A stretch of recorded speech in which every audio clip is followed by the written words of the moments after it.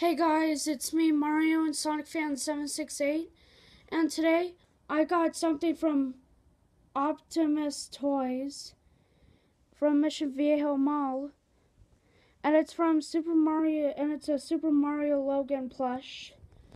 So here we go.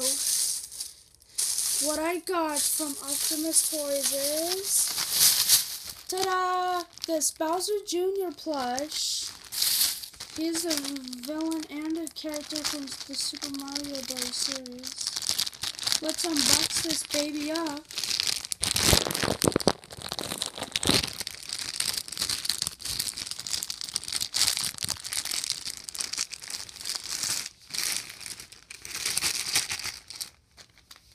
Oh, Bowser Jr.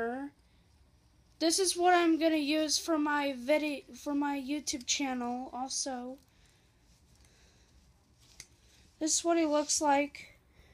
Okay, goodbye everybody, and that's about it.